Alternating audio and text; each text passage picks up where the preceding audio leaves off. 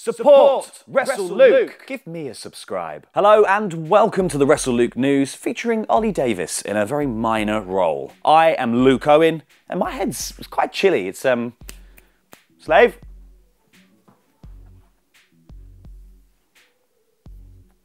Thank you, Oliver. You can go now.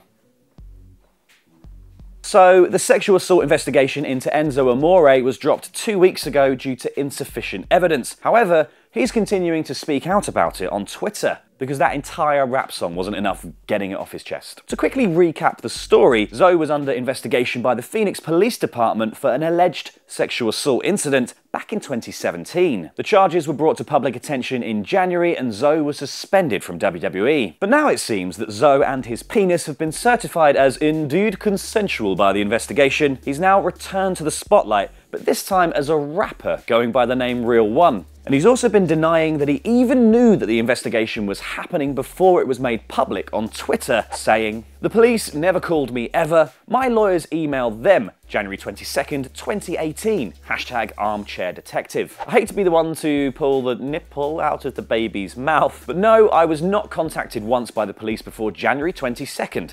Hashtag big facts. And we're not done with Enzo. We got the more and. Former vaudevillain Simon Gotch, now going by the name Simon Grimm, has revealed how Enzo got along with everyone backstage. About as well as you'd imagine. On Robbie E's Why It Ended podcast, Grimm revealed that Enzo got along just fine with WWE management, and that's mostly due to his mad promo skills. But the wrestlers found him too real for the room. Grimm said, I noticed he would try to buddy up with people when he thought he could get something from them, and that didn't sit well with people. When Finn Balor got there, Enzo immediately was just riding him to high heaven, which would be a great new finisher for Enzo if he ever returned to wrestling. So apparently Enzo was telling Finn how to get chicks, and Balor eventually lost his patience with him. As Grimm quite rightly pointed out, it's not exactly like Balor needed Enzo's help. He was an Armani model in Japan, and to use Grimm's own term, he has like 9 million abs. Sounds a bit gross to me, but uh, Apparently it's really attractive in Japan. They've got quite a tentacular tastes. Someone who's also been talking about the backstage vibes at WWE is John Cena. In an interview with Sports Illustrated, Cena revealed that his time in the crowd at WrestleMania 34 was supposed to be quite short-lived before he lost his match to The Undertaker. He said that he felt his WrestleMania moment was helping to reintroduce a WWE icon, and he says it's something he thinks that a lot of guys in the locker room could learn from.